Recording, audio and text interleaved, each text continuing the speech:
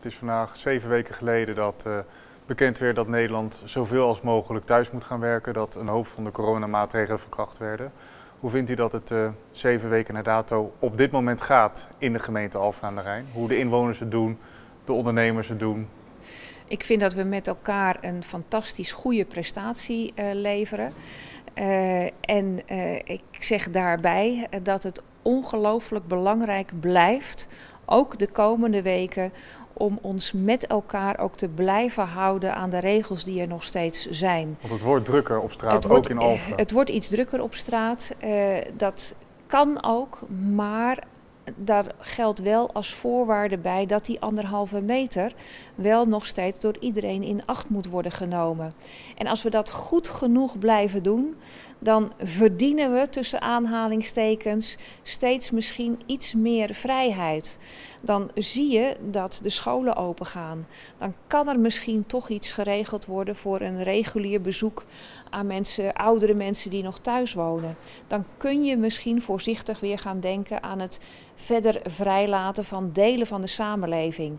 Maar denk niet dat dat van vandaag op morgen ineens weer teruggaat naar hoe dat het was.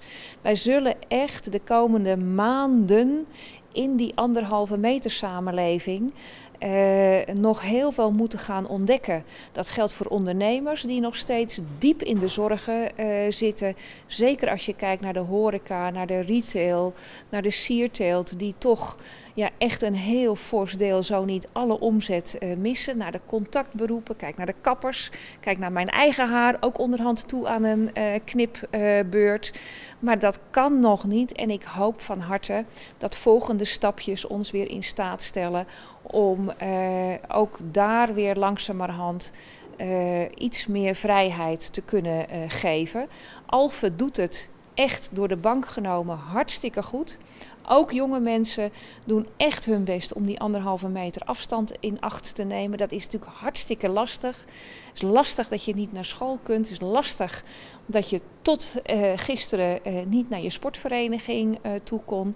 Maar met dat kleine beetje extra ruimte wat we sinds gisteren hebben, hoop ik dat iedereen vol wil helpen houden omdat dat de enige manier is om dat coronavirus te bestrijden, effectief te bestrijden.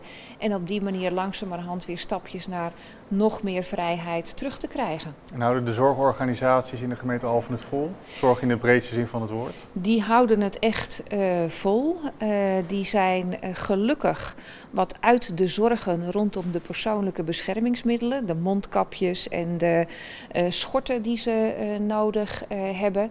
Je ziet ook dat de capaciteit in de ziekenhuizen langzamerhand weer gebruikt kan gaan worden voor de reguliere zorg.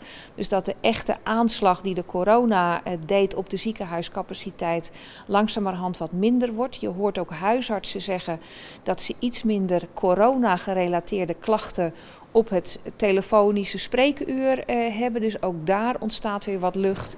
De tandartsen kunnen weer uh, aan de slag. Allemaal dingen die laten zien uh, dat we langzamerhand op de goede weg zijn. Maar ik onderstreep nogmaals langzamerhand. En, en, dat houden we alleen maar vast als we elkaar blijven aanspreken en die anderhalve meter blijven naleven. Hebben ze nog bijzondere voorvallen voorgedaan?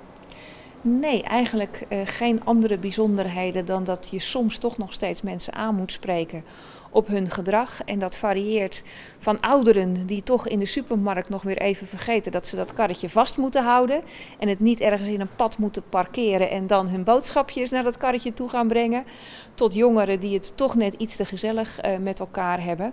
Dus door alle lagen van de Alphense samenleving heen geldt de oproep uh, en de uitnodiging om ons toch vooral met z'n allen aan die anderhalve meter te blijven houden. Maar geen bijzonderheden, Geen uh, grote bijzonderheden. Uh, ook afgelopen weekend en met Koningsdag zijn er weer wat bekeuringen uitgedeeld. Maar niet meer of niet anders dan in de afgelopen weken al het geval was geweest. En dan is natuurlijk het heel spijtig dat er bekeuringen uitgedeeld moeten worden.